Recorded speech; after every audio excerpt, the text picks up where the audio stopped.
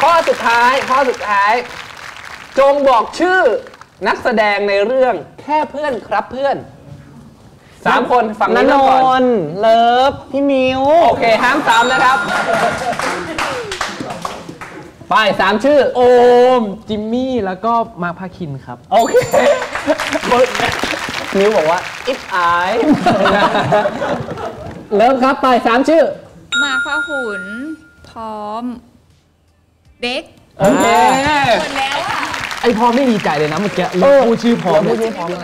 ใช่ไปแล้วครบแล้วมีอีกไหมยังมีมีรุ่นใหญ่เลยรุ่นใหญ่ก็ได้ รุ่นใหญ่ก็ได้ มีเยอะเลยใหญ่เลยหนึ่งสองสามพี่เนโอ พี่เติ้ลแบ็กออฟคือใครอะร่วมจับถ้าจงเลือกทำเขา Backaof คือผู้กำกับของเรา เฮ้ยแต่แต่ว่าเป็นชื่อ IG เขาอ่า คือเรารู้ว่าเขาอะชื่อแซวออฟแซวแซว แต่ว่าไม่รู้ว่าเขาชื่อ Backaof ใช่ไหม Backaof IG เขาลองไป follow ร่วมกับมาดูนะครับอะสรุปคะแนนกันหน่อย มีใครโดนลงโทษบ้าง เอ่อโอมได้ 5 ครับนันนงได้6นั้นนันได้ 2 มิวได้3สรุปคนที่โดนลงโทษก็คือเลิฟน้องมาเลิฟอะบทลงโทษมา นะครับมา เหนื่อยเลยว่ะ ขอหน้าน้องเลิฟหน่อยนะครับ แล้วให้เพื่อนๆนะครับเอ่อยำลุมยำนะครับน้องเลิฟนะครับ เราจะมีหน้านะครับ แล้วก็อยากจะเขียนอะไรนะครับ ให้กับน้องเลิฟเขียนได้เลยอ๋อแล้วพนะคอรับเราเขียนตรงนี้มันก็จะไปขึ้นบนหน้าเลยใช่ใช่เดี๋ยวมันจะไปขึ้นตรงหน้าเลยจริงโอ้ๆได้ครับฮอกวอตส์เออพี่มิวครับเรียนเชิญก่อนเลยอะนะครับอ่าระหว่างที่เขียนหน้ากันไปถามถึงความพิเศษแล้วกัน ของซีซีรีส์เรื่องนี้นะครับว่าเฮ้ยทำไม คนถึงจะต้องดูเรื่องนี้แค่เพื่อนครับเพื่อน มันดียังไง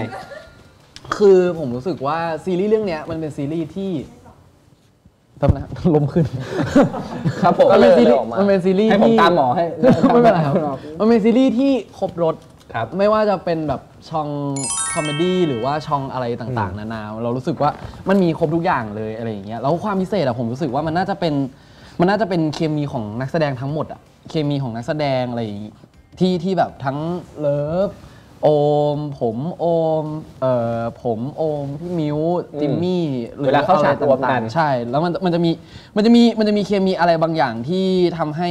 ทำให้เอ่อผมว่าคนทุกตัวละครมีเสน่ห์แล้วผมคิดว่าทุกคนน่าจะเอ่อหลงรักไม่ตัวละครใดก็สักตัวละครหนึ่งจากเรื่องเรื่องนี้ครับผมแล้ว เอ่อรู้สึกว่าเป็นเรื่องเป็นเรื่องปล่อยของอะเป็นเรื่องปล่อยของของทั้งทีมงานแล้วก็นักแสดงทุกคนอะไรอย่างเงี้ยครับผม ผมว่ามันเป็นเรื่องที่แบบแต่ละคนปลดปล่อยความของที่ตัวเองมี แล้วก็ความเป็นตัวเองที่ใส่ออกมาแล้วจากประสบการณ์ผมอะผมก็เล่นมาหลายเรื่อง